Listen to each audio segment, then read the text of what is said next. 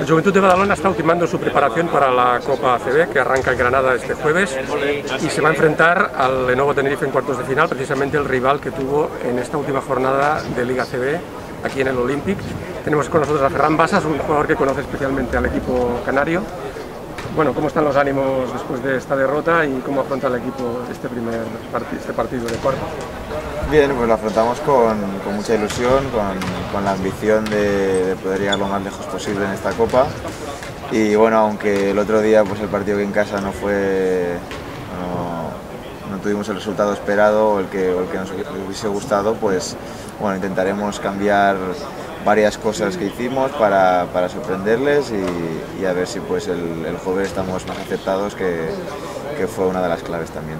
¿Cuáles son los objetivos del Juventud en esta Copa? Eh, ¿Con participar basta o las semifinales, la final sería un buen logro? Bueno, somos ambiciosos y evidentemente vamos, vamos allí a ganar. Eh, sabemos de la dificultad que tiene ganar una Copa del Rey, ¿no? Eh, sobre todo cuando tienes uh, equipos como el Barça y el Madrid, pero, pero no descartamos nada ves una posibilidad de copa con sorpresas, pues llevan muchos años con Barça y Madrid ganando, este año parece que hay más opciones, ¿no? no sé si...